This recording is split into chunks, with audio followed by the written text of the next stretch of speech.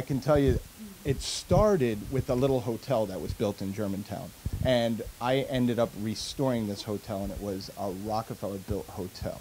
So as I, as I opened the hotel, and I got to meet all the people and the surrounding neighbors and everybody, the hotel became a hub of people coming in and seeing what's going on in the town. And what I noticed is all these artists in our community, there were people you didn't even realize were artists. And as I got to roam and see different places in the area, I'd always see, like, if I went up to Olana, which is Frederic Church's home, um, that is restored as a historic site. He was a famous painter. You'd always see the students sitting out there with their, with their paintbrushes, very excited. They were very happy to be in this place with th- this beautiful view of the Hudson River Valley. It draws people from near and far.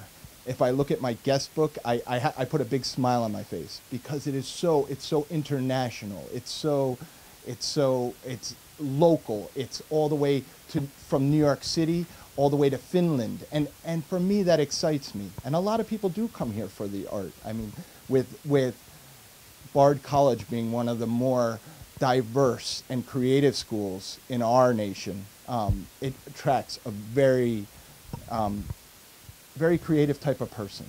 And our area is just so magically beautiful, and um, I think that everybody seems to uh, fall in love with it. So the people that visit the hotel, are always looking, can I buy a house here maybe and live here?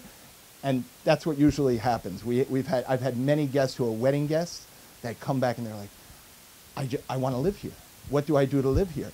And many of them are artists. And um, the hotel also hosts the New York Academy of Art for their residency program, which, which during our slow time, they'll come, the, the Hudson Valley is beautiful all year round in many different seasons, and they take advantage of that. When the hotel's slow, they say, "Can we get a good deal?" I say, "Absolutely, we, we'll give that to you." And we're just excited to have everybody come and experience what we experience every day.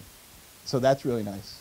I think Rachel would have a lot to add to that. I have other things to say. Martin's Hotel is the central house, and that's in Germantown. And one of the things that's so special about Germantown is that it's a little off the beaten path. So it's a very small main street with a market, with a variety store, with a hotel, and not much more. And it's very rural community. So farmers, farmland, and one of the most important things for us here is to preserve the open spaces and to preserve the farmlands and to preserve the viewshed of the river.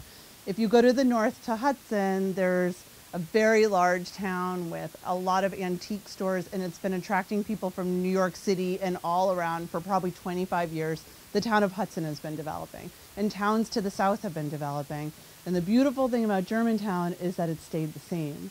And so the opportunity is to have Germantown be a place where people can come for art and culture and not necessarily the commerce, that you can drive 10 minutes and be somewhere else but here it's still preserved that you can hear the wind in the trees and you can hear the birds and you can hear the rain and those are the things that inspire artists and so that partnership of bringing the art here the chinese art here that one to educate people about what chinese art is and the relationship of nature and man in chinese art which is so common to what is happening in the Hudson River Valley. And same with the Hudson River Valley painters. They painted this river in every season, like Martin said. Every day it changes, every sunset looks different. If you wait a day, the colors change. And tomorrow, that tree that's green will be orange. And so, for an artist to have inspiration constantly is really special. And so I hope that Germantown stays beautiful and natural, and we want it to be a place for artists and for people who appreciate art. Your target audience, I mean, target um, is not the public, but uh, especially for the artists. If uh, a lot of tourists coming, very crowded, then maybe we think I think we we think about how Germantown would develop. I think this everywhere around the world has to address how do you deal with a growing population and with development. we would we want to support economic development here. Bringing people here is a good thing because it helps local businesses and it helps keep the town healthy. It means the school can grow and they can have programs and so those things are really important. But um, being selective about how the town develops and not just build houses on the river, you know, where where you have a beautiful river that should be preserved because it's looked like this for thousands of years. And so I think that's probably being more selective about how to develop it. But of course we want people to come here and appreciate it. I think it's about responsible growth. And you just have to be responsible about what you do and how you do it. And be, um, I think you got to conserve. I think you have to recycle. I think you have to um, sometimes give something a new life. We, for instance, we took the tree that had fallen on the home, on the big manor home here, and we had cut it up into planks, and that will become a new farm table.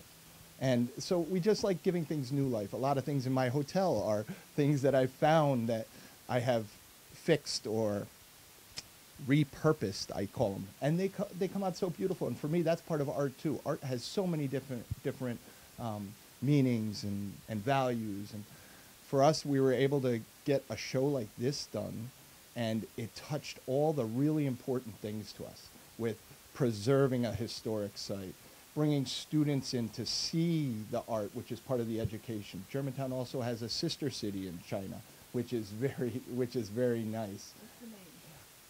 I'm not. We, I, uh, we don't know the name. Yeah, I am so sorry. I should have. But actually, the, the sister city, there's been students who traveled from Germantown to China. And the sister city is an industrial city. And we're actually trying to set up a relationship with a city that's more country, like here, so that we have something in common in terms of the art and the nature. This is what we want to also share.